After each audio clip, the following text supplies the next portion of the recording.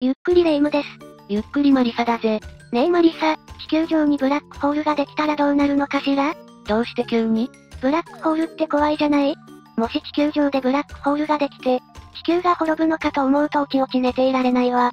それじゃあ今日は地球上でブラックホールができたらどうなるかについて解説していくぜ。お願い。早く知りたいわ。それじゃあ今日もゆっくりしていってね。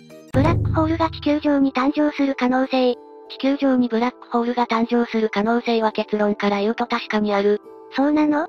嘘だと思いたい。地球には常に何億何兆もの超高速粒子がぶつかっているんだ。その中には非常に高いエネルギーを持つものがあるんだ。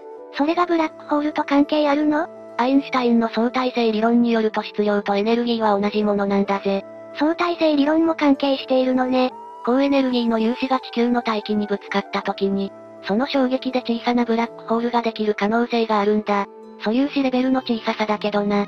そんなに小さいブラックホールならあまり影響がなさそうね。そうだな。素粒子レベルの大きさならすぐに蒸発するのは間違いないぜ。現代の物理学者たちは、宇宙がどうできているのか研究しているんだぜ。粒子加速器という装置で高エネルギーの粒子をぶつけているんだ。粒子を砕いて新しい粒子が発生するか調べている。そうなのね、ブラックホールが出てくることはあるのかしら？ああ。だがすぐに蒸発するぜ。よかったわ。でもな、現実の生き物の空間は3次元だってのは知っているよな知っているわ。なんでも3次元の他に余分な次元があるという説もあるんだぜ。ええー、知らなかった。余分な次元があれば小さいブラックホールができる可能性はさらに高くなるらしいぞ。それは怖いわね。まあ余分な次元があるという説からの可能性だがな。地球上でブラックホールが生成されたとしても素粒子サイズでものすごく小さいから、一瞬で蒸発してしまう。観測することだって極めて難しいんだぜ。飲み谷よりも小さいんだからそりゃ観測は難しいわ。つまり、ブラックホールができても地球に影響が出ることはないのね。ブラックホールとは、そもそもレイムはブラックホールについてどれくらい知っているんだ？どんなものでも吸い込んでしまう恐ろしい物体。無印良品みたいにシンプルな発想だな。まずブラックホールとは何なのかを説明するぞ。ええー、お願いするわ。地球や太陽などの星は重力と圧力が釣り合っているよな。だから球体を保って宇宙空間に存在できているんだぜ。重力と圧力がないと星が生まれないのね。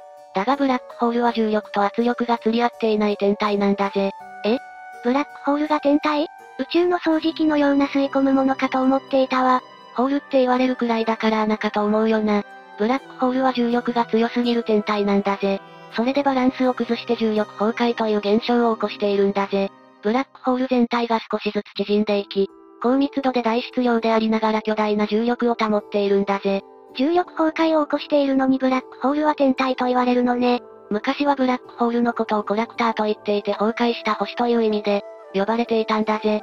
アメリカの物理学者であるジョン・ホイラーという人が、1967年にブラックホールと名付けたんだ。どうして名前が変わったのかしらね？これでは黒い穴かと思うわ。やっぱり観測上黒く見えるからだろうな。崩壊した星よりも親しみやすいわね。親しみやすさで決められたわけじゃないと思うが、ちなみに中心部はシュバルツシルトメントと言われていて、漆黒の円になっているんだぜ。強力な重力で光だって吸い込まれてしまう。もちろん脱出は完全に不可能だ。やっぱり怖いわね。そういえばブラックホールの写真は見たことはあるか？ええ図鑑にも載っているわね。今まで私たちが見てきたブラックホールの写真は、作り上げられた画像だったんだぜ。え？本物の写真じゃなかったってこと？そうなんだ。だがな、世界で初めてブラックホールの影を撮影することに成功したと、2019年の4月10日に発表されているんだぜ。200人以上の国際研究チームで日本も含まれているぞ。日本も宇宙開発に協力しているのは誇りだわ。どうやって撮影したのかしら？高解像度の電波望遠鏡でブラックホール近くのガスが発する電波を観測し、影のように浮かび上がらせるというやり方だ。そんな方法があるのね。電波望遠鏡って？電波望遠鏡は簡単に言うと各家庭にある衛星放送のようなものだぜ。よく家にある白いお椀の形をしたアンテナのようなものね。ああ、電波を電気信号に変える受信機で電気信号を分析して映像に変えるチューナーなんだ。なるほどね。今までは光まで飲み込むブラックホールを直接観測することは不可能だったんだ。間接的に観測していたってこと？ああ。周りの天体を解析するのはもちろん、ブラックホールが吸い込んだ物質が発する X 線やガンマ線を解析することで間接的な観測を行っていたんだぜ。聞き慣れない専門用語ね。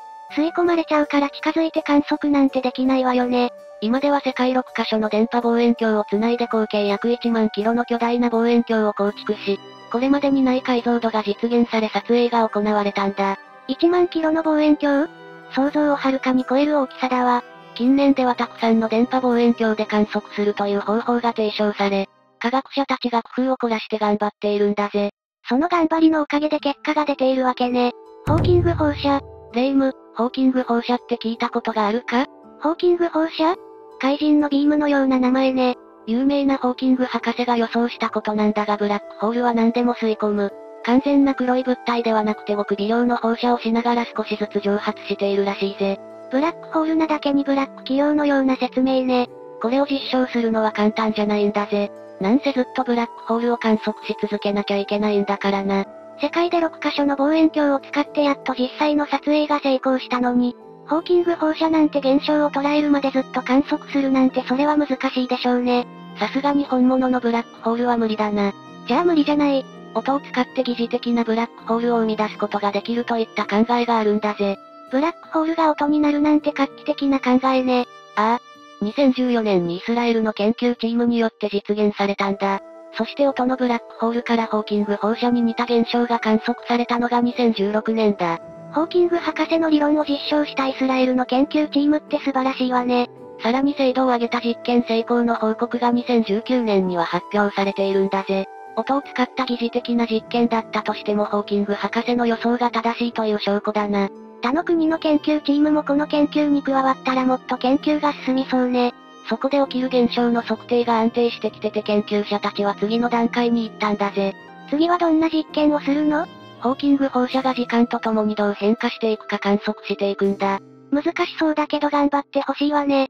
地球にブラックホールが誕生したら。さて、素粒子レベルのブラックホールができても地球に影響がないと言ったが、1センチサイズのブラックホールとなると話は変わってくるぞ。1センチ ?1 円玉よりも小さいわね。ああ、1円玉よりも小さいサイズのブラックホールが誕生したら地球は悲惨な結末になる。ええ？どうなるの？?1 円玉よりも小さいサイズのブラックホールの質量は地球の質量と同じくらいなんだぜ。たった1センチでそんな大きな質量を持っているなんて。逆に地球を圧縮してブラックホールにするには半径1センチ未満にする必要があるんだ。こんなに大きい地球を1センチ未満にするなんてできるのかしら。それを可能にしているのがブラックホールなんだぜ。やっぱり恐ろしいわ。もし1センチのブラックホールが地球にできると、ブラックホールの近くでは強い重力が働いて周りの物質は粉々にされてしまう。え、じゃあ人間の足元にできたら？ブラックホールに近ければ近いほど重力は強くなるから、足にかかる重力は頭にかかる重力よりも桁違いに大きくなる。だからブラックホールの近くにいた人間はラーメンのように引き伸ばされることになるな。面にはなりたくないわ。この力を潮汐力と言うんだ。潮汐力については知っているか？いえ、初めて聞く言葉だわ。潮汐とは海の満ち引きのことで天体の形を変形させることができる。海の満ち引きを潮汐っていうのね。地球は主に月と太陽からの潮汐力を受けているのは知っている人も多いかもしれないが、地球の海は流れていて変形しやすいが個体も潮汐力で変形するんだぜ。形あるものまで変わるなんて思いもしなかったわ。天体を保つ力よりも潮汐力が大きいと破壊されることもあるんだ。それならブラックホールが足にひっついていたら？潮汐力は地球の重力の8兆倍のさらに1億倍という信じられない大きさになる。人間どころかエベレストだってひとたまりもないわね。ブラックホールから離れれば安全なのかしら？そうだな。例えばブラックホールから20キロ離れた場所の、潮汐力は地球の重力の約10倍だから 10G になる。それだけの圧がかかるとどうなるの？イメージしやすいのが世界最大速度だと言われている富士急ハイランドのドドドンパだが、発射1.56秒で時速180キロを出してこれでも重力加速度は約 3.75G だ。ドドドンパでも失神しかけるの 20G にはほど遠いわね。ああ。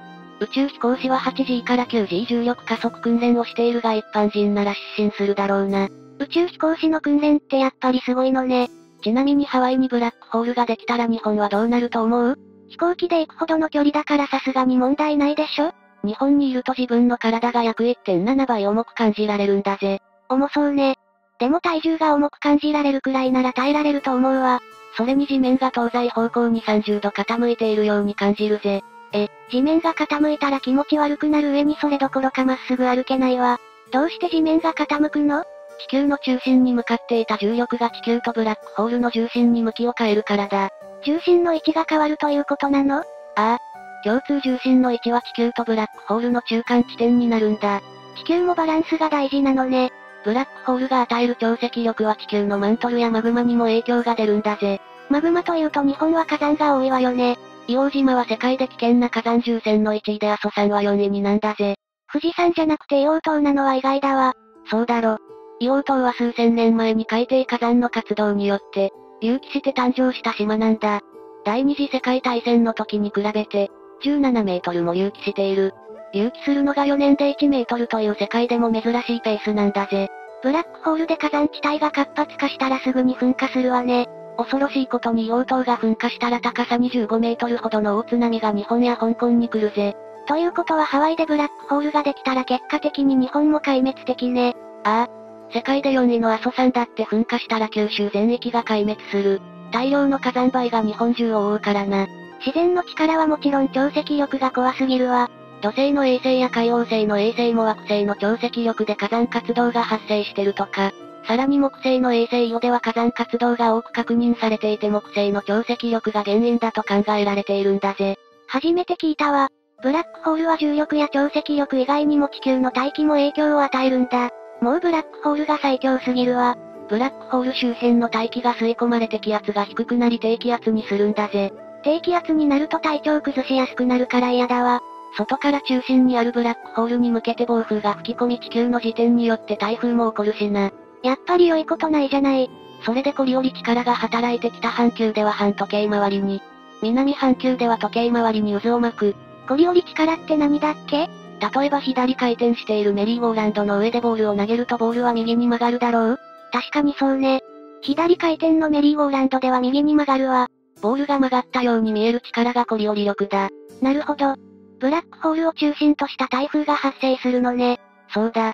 地上に出てきたブラックホールはいつまでも止まるわけじゃないんだぜ。どこかに行ってほしいわね。できれば地球から遠いところに消えてほしいけど、1センチのブラックホールは重力で地球の中心方向に強く引きつけられるんだ。うん、それで？地球を掘り崩しながら中心部に向けて沈み込んでいき、地球の中心まで到達したらブラックホールの進行は停止するぜ。地球の中心まで到達したら地球はどうなるんだろう。地球は飲み込まれてしまうぜ。じわじわとな。一瞬じゃないの？例えばブラックホールが球体だとしたらその表面積は13平方センチメートルになるんだ。ブラックホールに落ちてくる物質は加速されているとしよう。そうすると1秒間に吸い込まれる物質の量は体積に換算すると4000立方メートルだ。それってどれくらいなのか想像がつかないわ。50M プール7.5個分のイメージだ。東京ドームくらいの体積を吸い込むには5秒程度かかるぞ。とんでもないスピードね。でもやっぱり地球は広いから時間はかかるでしょう？ああ。地球全体が飲み込まれるまでは数十億年時間がかかることになるぜ。かなりの猶予はあるなら人間側も準備ができるわね。地球外への影響。ブラックホールが地球にできたらもちろん地球外にも影響があるんだぜ。今までの話を聞いてなんとなく想像がつくわ。どんな影響？月に影響する重力は倍になってその軌道にまで影響があるんだ。月は地球に近いものね。ああ。重力と遠心力の釣り合いが崩れてさらに地球の近くの月の軌道を回ることになる。軌道の形も潰れた楕円形に変わると考えられているぜ。月だけが影響を受けるのかしら？地球に置き換わったブラックホールだと太陽系全体にももちろん影響を与えるぜ。なんだか申し訳ないくらい影響が出ているわね。ブラックホールの重力は小惑星の軌道をさらに内側に引き込むんだ。そうなると今よりも頻繁に小惑星同士の衝突が発生する。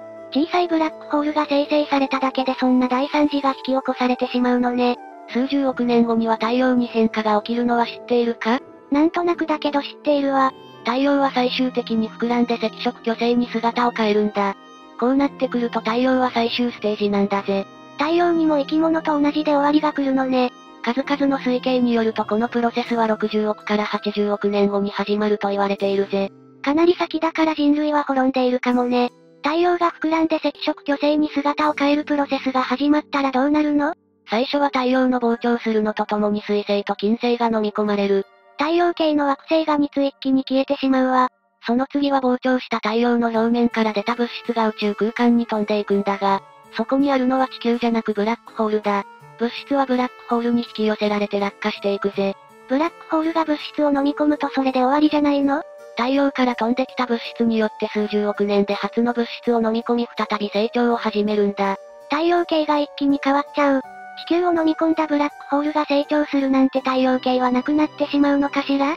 太陽の影響で巨大な惑星やらから流れ出る物質が落ちていくブラックホールは成長を続け、少しずつ太陽へと近づいていく。太陽も吸い込まれちゃうのね。ブラックホールは太陽を吸い尽くして核だけ残し残された核は白色矮星となって、ブラックホールの周りを回るかもしれないしどうなるか今はわからないな。太陽まで吸い込むことだって考えられるわね。今日は地球上でブラックホールが誕生したらどうなるかを解説したがどうだった？まさか1円玉サイズより小さいブラックホールで地球が滅びるなんて思わなかったわ。でも地球でブラックホールが生成される可能性がないことが分かって少しだけ安心できたわ。それならよかったぜ。あとはホーキング放射現象が実証されたら激アツだな。ブラックホールの謎が5つ解けるってことだもんね。その日が来るのが楽しみよ。これにて本日の解説は終了だ。動画が面白かったら、高評価とチャンネル登録をよろしくお願いします。それじゃあまた。